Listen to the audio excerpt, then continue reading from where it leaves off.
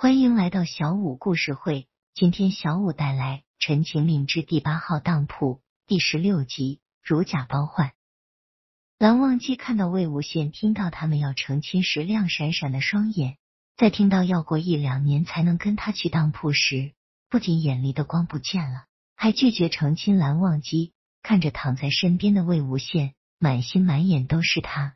他想再为蓝家做点事情，最起码。等到叔父伤好，可是魏无羡好似等不了了。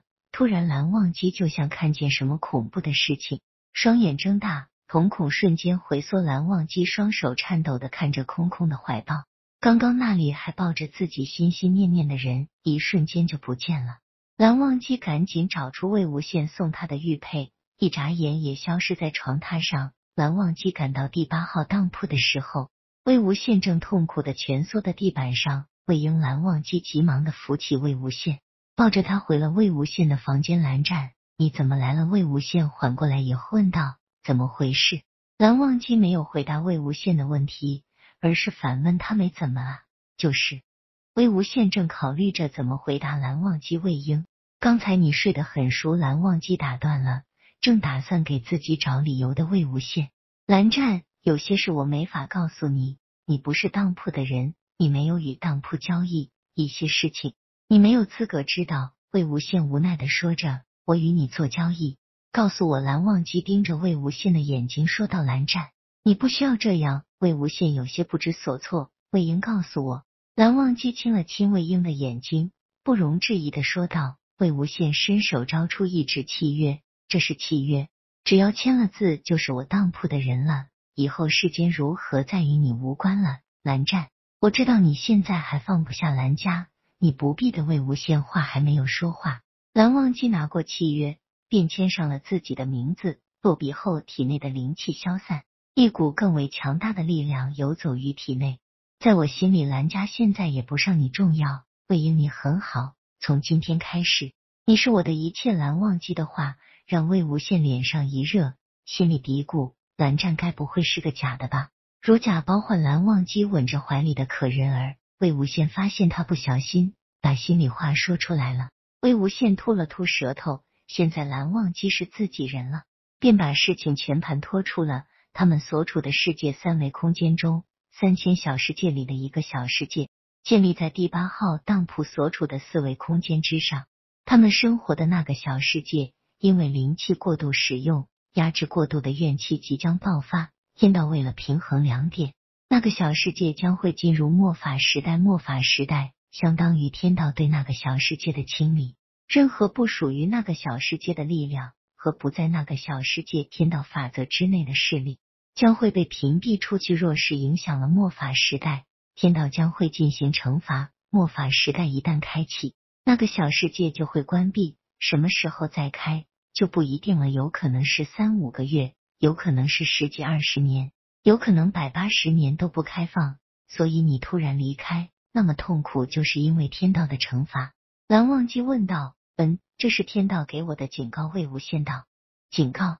因为末法时代。”蓝忘机问道：“呃，末法时代还没有完全到来，应该也快了。”魏无羡摸摸鼻子，有些不想继续这个话题。那为何会有警告？蓝忘机问道：“呃。”魏无羡急速的转动着自己的小脑袋，不可以说谎。蓝忘机看着魏无羡滴溜溜乱转的小眼睛，说道：“好吧，好吧，我和白家的打了一架，就被惩罚了。”魏无羡放弃抵抗了。当年清谈会后，江城到处让人拔剑，而后不久，江城带着陈情和随便来到云深不知处，将二者送给魏无羡。魏无羡收下了陈情和随便，并未见江城。而是留下一句各自安好。陈情和随便当初被魏无羡带走了，现在陈情出现了，是不是代表着魏无羡也出现了？人在哪？蓝忘机急促的问道。在待客时，蓝思追到：自十年前后，他就再没见过韩光君如此激动。蓝忘机拿着陈情往待客室走去，在路上先是遇到了拿着折扇的蓝曦臣，后是蓝启仁。叔父，叔父，蓝忘机。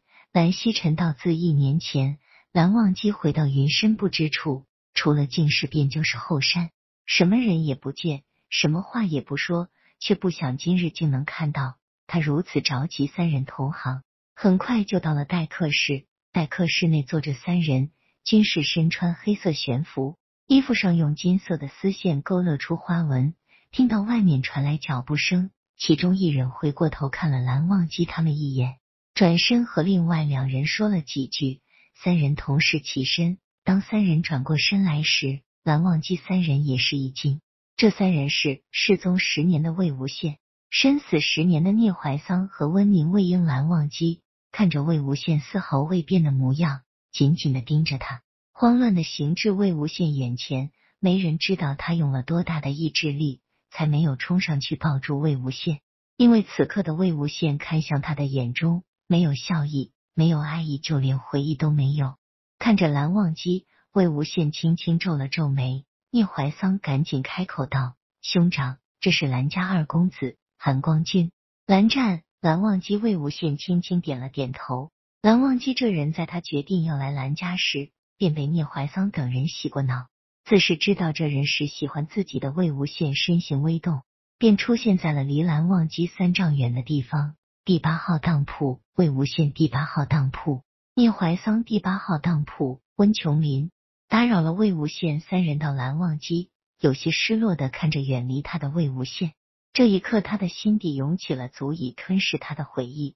他的魏婴不理他了。魏公子，十年前发生了什么，导致你十年间杳无音讯？蓝曦臣一眼便看出来蓝忘机的情绪，问道：“十年前突发意外，我的记忆出了些问题，无法回答阁下的问题。”抱歉，魏无羡回答道：“兄长，这是泽无君聂怀桑在旁边介绍道。蓝曦臣和蓝启仁。”听到魏无羡说他的记忆出了问题，有些不知道该说什么。因为失了记忆，所以才失踪十年。魏婴，你记忆有损，身体可好？蓝忘机有些担心的问道。魏无羡看着又一次接近他的蓝忘机，后退了几步，有些不知所措。我身体很好，不用阁下担心。那什么，我还有事，告辞。魏无羡实在消化不了蓝忘机的热情，直接顿了不是。兄长聂怀桑眼睁睁的看着魏无羡跑了。怀桑，你不是已经？为何喊魏公子兄长？蓝曦臣不解的问道。病逝是假的，我和兄长有八拜之交，有什么事就问吧。聂怀桑也是一副豁出去的姿态。